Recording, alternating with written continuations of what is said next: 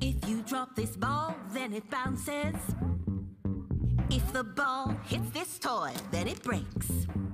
And did you know if you stub your toe, then it hurts, for goodness sakes?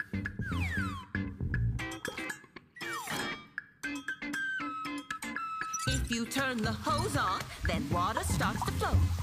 And if you put it on plants, then flowers start to grow.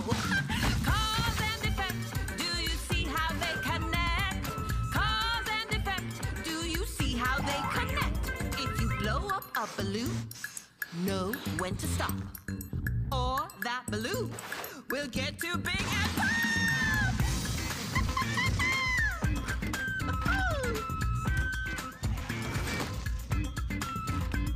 If you put water in the freezer, then it's gonna turn to ice. And when you hug your super, then it makes her feel so